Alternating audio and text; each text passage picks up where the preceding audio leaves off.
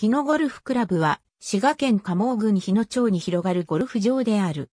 観光日本株式会社、足立晋三と久保田久米吉は、1970年7月15日、ゴルフ場の用地探しに、妖怪地市を訪れていたところ、そこで、滋賀県加茂郡日野町のゴルフ場誘致計画を知った。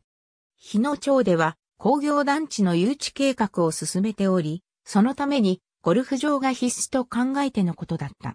ゴルフ場用地は、蘇我地区を中心に、中野号の4部落である。足立の計画では18ホールの予定だったが、地元の要望で36ホールのゴルフ場の建設に変更した。コース設計は足立建設の鈴木昭一が担当し、工事を足立建設株式会社に決まった。建設予定地を見分した鈴木は太鼓判を押した。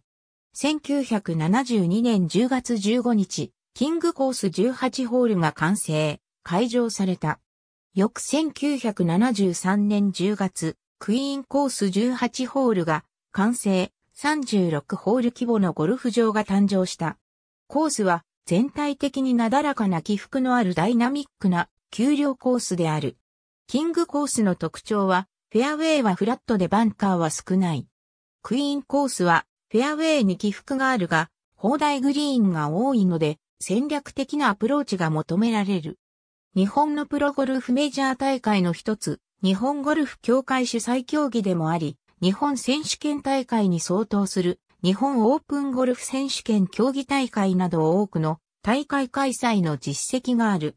郵便番号529-1611滋賀県、加茂郡日野町蘇馬1146-1。ありがとうございます。